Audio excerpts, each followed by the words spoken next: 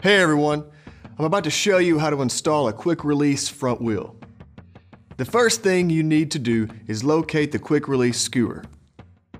Check your tire tread to see if it has a directional pattern. If it does, you can compare it to the back tire to make sure it's going in the right direction. With that figured out, start the install by unscrewing the lock nut from the quick release skewer and removing the outer spring. Now you can slide the skewer through the front wheel axle, putting the lever on the left side of the bike opposite the chain. Replace the spring and thread the lock nut. Leave the lock nut loose for installation and centering. Next, put the wheel on, seating the axle completely in the fork slots. This is the time to check for centering.